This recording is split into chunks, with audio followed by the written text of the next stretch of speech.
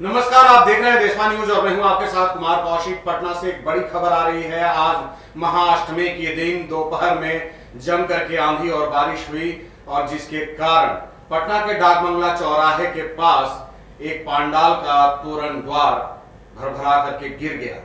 हालाँकि किसी तरह की हताहत नहीं हुई, लोग बच गए, लेकिन एक ऑटो उसके चपेट में आ गया। लेकिन अच्छी बात यह रही कि ऑटो में कोई सवारी नहीं थी। डाकबंगला चौराहा और कोतवाली थाना के बीच में पेट्रोल पंप के पास ये तोरण द्वार बना हुआ था। भारी बारिश के कारण तोरण द्वार सड़क पर आकर के गिर गया, सड़क जाम हो गया। किसी की हताहत होने की सूचना नहीं है। लोग बच गए हैं। और एक अच्छी सूचना यह भी है कि मूर्ति को भी किसी तरह का क्षति नहीं पहुँचा हुआ है क्योंकि मूर्ति जो है पांडाल में था। और ये मामला तोरण द्वार का है। तोरण द्वार केवल गिरा हुआ है और उससे बस इतनी ही फजहत हुई है कि सड़क जाम हो गया। सड़क जाम होने के बाद स्थानीय लोगों ने बास बल्ले को हटाना शुरू कर दिया।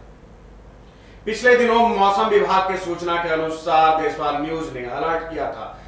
देशवाल न्यूज़ के माध्यम से मौसम विभाग की सूचना को दिखाया गया था। मौसम विभाग ने अलर्ट किया हुआ था कि चार पाँच दिनों तक भारी बारिश के आसार हैं। लोग अपनी सुरक्षा का ख्याल रखें।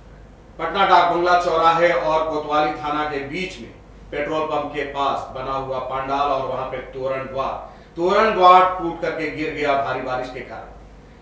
और कुछ तो नहीं हुआ, लेकिन सड़क जाम हो गई, यातायात बाधित होने लगी। स्थानीय लोगों ने फ़ौरन लग करके बास बल्ले को हटाना शुरू किया। तो अब तक के लिए बस यही तक, फिर मिलते हैं नए मुद्दे, नए सरोकारों के साथ। तब तक देशवा न्यूज़ देखते रहिए अच्छा लगे तो अपना सुझाव देना नहीं भूलिए। नमस्कार। सिर्फ़ खबर दिखाना देशवा न्यूज़ का मकसद नहीं। देशवा न्यूज़ की कोशिश है कि समाज की सूरत बदलनी चाहिए। देशवा न्यूज़ पर वीडियो देखने के लिए लाइक करें, सब्सक्राइब करें। साथ ही बेल आइकन दबाना न भूलें।